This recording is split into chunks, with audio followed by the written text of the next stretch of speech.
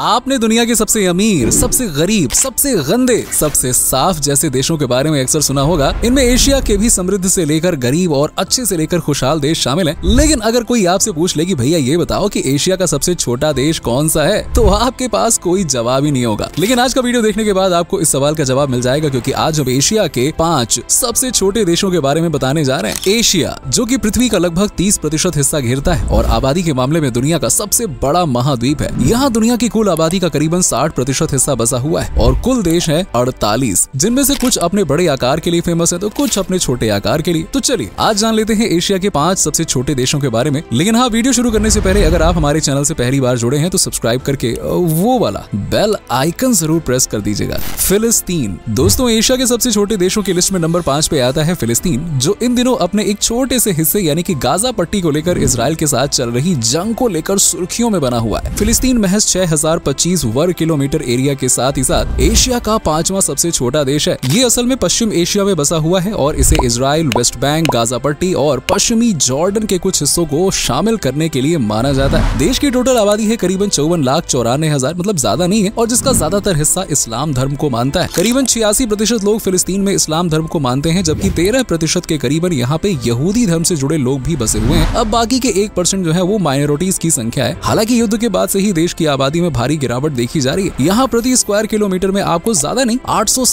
लोग देखने को मिल जाएँगे। अब आपको यकीन नहीं होगा, लेकिन फिलिस्तीन को दुनिया के सबसे प्राचीन देशों में से एक माना जाता है। इतना ही नहीं, दुनिया की सबसे पुरानी बस्ती भी इसी देश में बसाई गई थी। बेशक आज मुसलमान मक्का की तरफ़ मुँह करके नमाज़ अदा करते हैं, लेकिन मक्का के निर्माण से पहले हर मुसलमान फिलिस्तीन में मौजूद मस्जिद अल अक्सा की तरफ़ मुँह करके नमाज़ अदा किया करते थे। फिलिस्तीन लंबे समय तक मुस्लिमों का गढ़ रहा है। हालाँकि बाद में देश का करीबन अठासी प्रतिशत हिस्सा यहूदियों के हाथ में चला गया और 1920 वाले फिलिस्तीन का मात्र 12 प्रतिशत हिस्सा ही अब मुसलमानों के पास बचा है। फिलिस्तीन कुछ साल पहले तक एक बहुत ही बढ़िया शान देश हुआ करता था, जहाँ न कोई विवाद था, न झगड़ा, लेकिन इसराइल के साथ सालों पुराने विवाद को जैसे ही हवा मिली, ये तो भाई एक डरावना क्षेत्र बन गया और आज ये आलम है की फिलिस्तीन जंग का मैदान बन चुका है। नेक्स्ट है ब्रुनेई। ब्रुनेई दक्षिण पूर्व एशिया में बसा एक छोटा सा देश है, जो एरिया के लिहाज से एशिया का चौथा सबसे छोटा देश है और इसे दुनिया के सबसे छोटे देशों में भी शुमार किया जाता है। ब्रुनेई का टोटल लैंड एरिया महज पाँच हज़ार सात सौ पैंसठ वर्ग किलोमीटर का है। लेकिन छोटा होने के बावजूद भी ये काफ़ी समृद्ध देश है। ज़्यादातर अरबी देशों की तरह ब्रुनेई की कमाई का भी मेन ज़रिया पेट्रोलियम ही है। 2022 के हिसाब से देश की जीडीपी एक हज़ार छह सौ अड़सठ करोड़ यूएसडी है, जिसमें से सैतालीस परसेंट के लगभग कंट्रीब्यूशन पेट्रोलियम का ही होता है। ब्रुनेई एक इस्लामिक कंट्री है, जहाँ ज़्यादातर आबादी इस्लाम धर्म को मानने वालों की है। देश की कुल आबादी है चार लाख पचपन हज़ार और इस आबादी के साथ ये दुनिया की आबादी के मामले में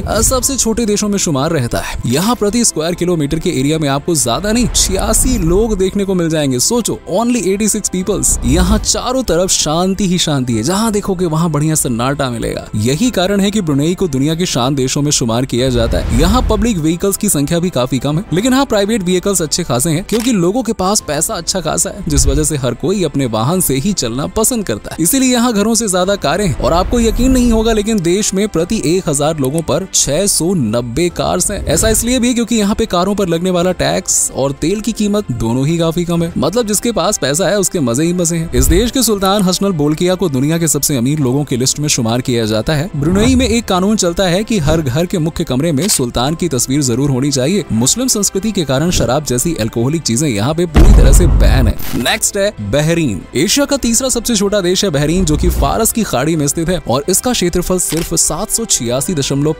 वर्ग किलोमीटर है। इस लिहाज से ये एशिया का तीसरा सबसे छोटा देश है। ये देश 50 किलोमीटर लंबा है और जबकि 16 किलोमीटर चौड़ा। सोचो कितना छोटा है। अपने यहाँ के एक शहर के बराबर। देश की राजधानी है मनामा, जिसे काफ़ी खूबसूरत शहर भी माना जाता है। लैंड रिक्लेमेशन एक्टिविटीज़ की बदौलत यहाँ कभी बहरीन में तैतीस आईलैंड हुआ करते थे। वही आज यहाँ पे करीबन अस्सी आईलैंड है और जिनमें से उम एन नासन, बहरीन द्वीप सिन्ना मुहर्रम द्वीप और हवार आईलैंड सबसे बड़ा है। बहरीन का करीबन बयानवे प्रतिशत हिस्सा रेगिस्तान है और ये अरबी देशों में तेल की खोज करने वाला सबसे पहला देश है। 1932 के लगभग ही यहाँ तेल की खोज कर ली गई थी और आज देश की इकोनॉमी में ज़्यादातर धक्का पेट्रोलियम और नेचुरल गैस ही लगाती है। 2022 के अकॉर्डिंग बहरीन की टोटल जीडीपी है करीबन 4,438 करोड़ यूएसडी जिसमें से 11 परसेंट के करीबन पेट्रोलियम 19 परसेंट के करीबन लगभग नेचुरल गैस और बारह दशमलव एक सात प्रतिशत ऐसी ज़्यादा टूरिज़्म और तेरह प्रतिशत ऐसी ज़्यादा मैन्युफैक्चरिंग सेक्टर सपोर्ट करता है। इसके अलावा इम्पोर्ट एक्सपोर्ट से भी ग्यारह तक की कमाई हो ही जाती है। बहरीन एक मुस्लिम कंट्री है और आज के टाइम में यहाँ पे चौदह लाख अंठानवे हज़ार सात सौ के लगभग लोग बसे हुए मतलब देश छोटा है, लेकिन लोग भर भर के बहरीन को आज दुनिया के सबसे अमीर तरीन देशों में शुमार किया जाता है, लेकिन ये देश हमेशा से ऐसा नहीं था। बल्कि 1930 से पहले तो ऐसा था कि बहरीन के पास ना तो ज़्यादा पैसे थे और ना ही कोई अच्छा सेक्टर जिससे वो कमाई कर सके। लेकिन तेल की खोज ने इस देश की तो हालत ही बदल दी, काया पलट कर दिया। और आज यहाँ पे ऊँची ऊँची इमारतें, चमचमाती सड़कों पर दौड़ती गाड़ियाँ, पैसा लग्जूरियस लाइफ आपको हैरान कर सकती है। साइज़ में ये देश अपने दिल्ली से भी छोटा है और इसे उन्नीस सौ इकहत्तर में आज़ादी मिली थी। 1990 में कुवैत पर इराक के हमले के बाद बहरीन संयुक्त राष्ट्र संघ का सदस्य बना और आज ये अरब कंट्रीज़ में से एक है जहाँ की भाषा अरबी है। इसके अलावा इंग्लिश भी यहाँ ज़्यादातर लोग बोलते हैं। हालाँकि ऑफिशियल लैंग्वेज अरबी ही चलन में है। बहरीन को आज दुनिया के सुरक्षित देशों में शुमार किया जाता है, जहाँ की करेंसी है दिनार। और ये एक काफ़ी गर्म देश है जहाँ पे औसतन तापमान 50 डिग्री सेल्सियस तो रहता ही रहता है। नेक्स्ट है सिंगापुर। जी हाँ दोस्तों, एशिया का दूसरा सबसे छोटा देश है सिंगापुर। ऊँची ऊँची बिल्डिंग्स लग्जूरियस लाइफ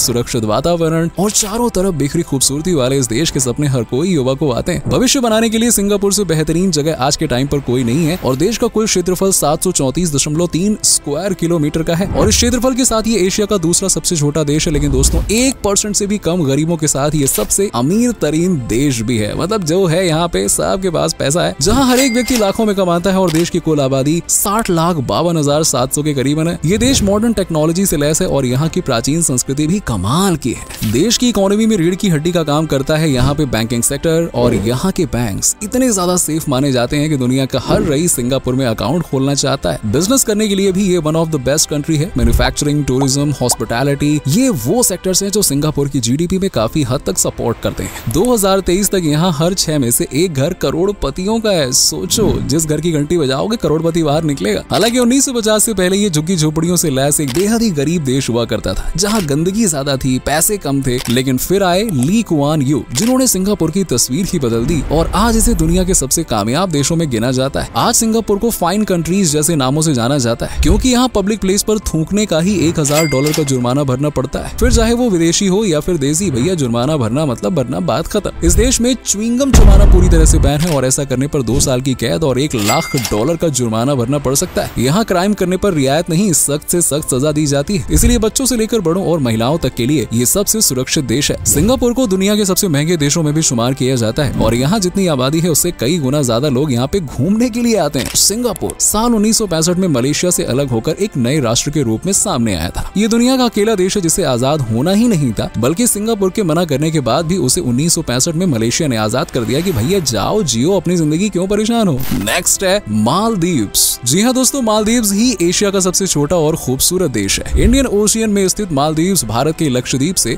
सात सौ चौवन किलोमीटर की दूरी पर स्थित है। मालदीव का टोटल क्षेत्रफल 300 वर्ग किलोमीटर का है और यहाँ करीबन पाँच लाख सत्रह हज़ार आठ सौ अस्सी लोग रहते हैं। इस लिहाज से मालदीव एरिया और आबादी दोनों ही मामलों में एशिया का सबसे छोटा देश है। मालदीव्स असल में एक आइलैंड देश है जो की ग्यारह सौ के लगभग टापुओं से मिलकर बना है। हालाँकि इनमें से महज 200 आइलैंड्स पर ही लोग बसे हुए हैं, जबकि बाकी सब वीरान पड़े हुए हैं। भारत की ही तरह मालदीव्स भी कभी अंग्रेज़ों का गुलाम हुआ करता था, लेकिन साल उन्नीस सौ पैंसठ में गुलामी की बेड़ियों को तोड़ते हुए इस देश ने आज़ादी हासिल की और ग्यारह नवंबर उन्नीस को आठ सौ तिरपन साल पुरानी राजशाही को खत्म कर मालदीव्स एक रिपब्लिक कंट्री बन गया। देश की इकोनॉमी ज़्यादातर टूरिज़्म सेक्टर पर डिपेंड करती है और यही कारण है कि जब भारत से पंगेबाजी हुई तो मालदीव्स ने तुरंत एक्शन लिया। क्योंकि मालदीव्स में ज़्यादातर सैलानी तो भारत से ही आते हैं तो भारत से पंगा कैसे लोगे भाई? मालदीव्स में प्राकृतिक सुंदरता जीव जंतु और वनस्पतियों का भंडार पड़ा हुआ है। इस देश में मूँगा की चट्टानों की एक सौ सतासी के लगभग प्रजातियाँ पाई जाती हैं, जबकि डॉल्फिन, वेल, मछलियाँ और समुद्री कछुओं की कई प्रजातियाँ देखने को मिलती हैं। डेढ़ मीटर ऊंचाई और डेढ़ मीटर के हाईएस्ट नेचुरल पॉइंट के साथ मालदीव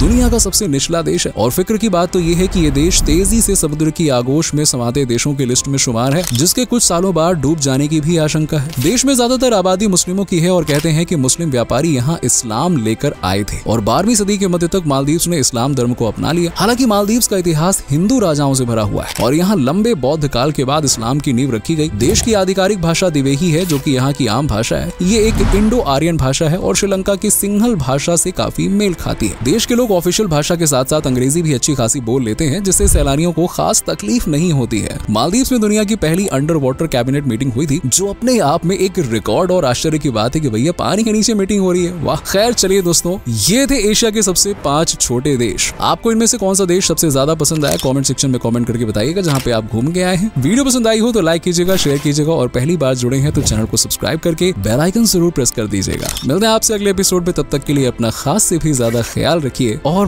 बहुत खुश रहिए।